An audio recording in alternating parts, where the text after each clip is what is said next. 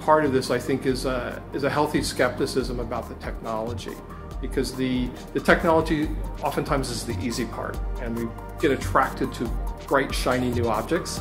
Uh, the challenge with that is that today's bright and shiny object will probably not be the same one tomorrow.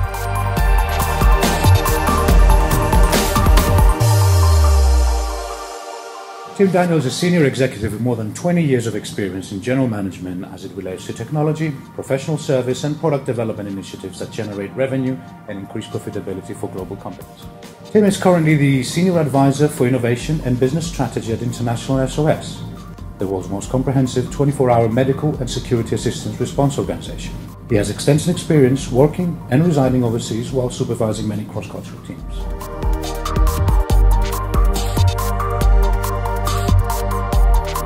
Well, in terms of definition, I think it can work across multiple levels in an organization. It can be as simple as an existing process or product being re engineered to embrace technology that wasn't available before. It can be replacing existing processes and products. It can be creating things that are brand new.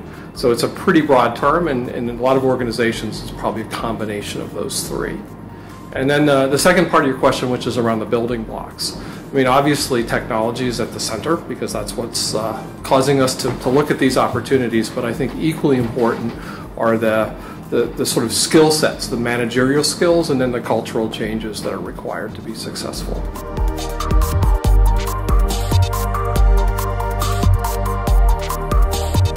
Well, as I said before, we, we tend to sort of start with the technology and look at, you know, what does that enable us to do? But oftentimes we forget that uh, the hardest part of this is how people's behaviors are going to change, whether it's the people producing the new solution or the people consuming it. So I think embracing uh, change, not just uh, from a technology stack perspective, but from an overall perspective, is very important.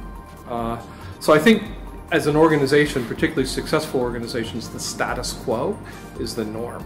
And there's a, a reward system that generally says, be risk adverse, uh, stay with the safe. And I think anytime we're talking about transformation, we have to break out of that.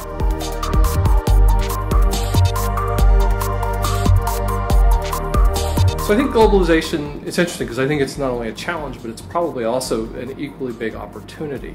Uh, the challenging part is that you and I may think differently because we grew up in different places and, and, look at the world through a different set of eyes. But also, if we look at the world as our market and the world as our, our source of inspiration and, and, and essentially the, the components, mm-hmm. then we should be able to embrace, you know, the whole world, not just the, uh, the, the, safe and the, the familiar that we're, we've grown up with.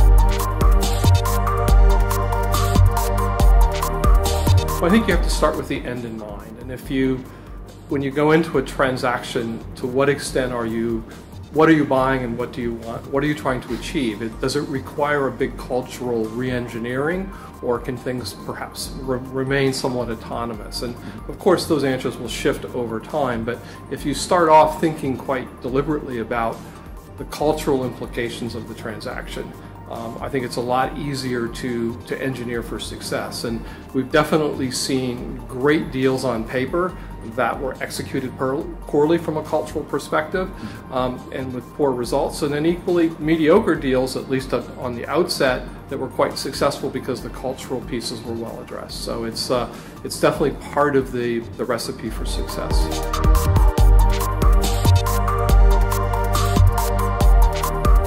Well, I think the, the irony is that it, it, it, has to happen from the bottom up, but I think there can be a, a, a top down uh, leadership by example.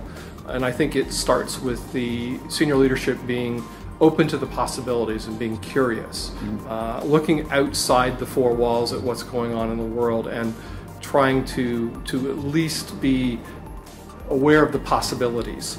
And I think then it's getting inside the heads of their consumers or the some cases perhaps the internal users. Uh, a lot of the concepts that are embodied in design thinking are really about that empathy for the for the user or the consumer. And for a lot of senior executives, that, that can be a scary place to go. But the successful programs really require you to do that. Um, another key part of this, I think, is a, is a healthy skepticism about the technology because the, the technology oftentimes is the easy part and we get attracted to bright, shiny new objects. Uh, the challenge with that is that today's bright and shiny object will probably not be the same one tomorrow. So I think it's understanding that the technology has a role here, but not to be become uh, seduced by it as the as the be all and end all to the approach.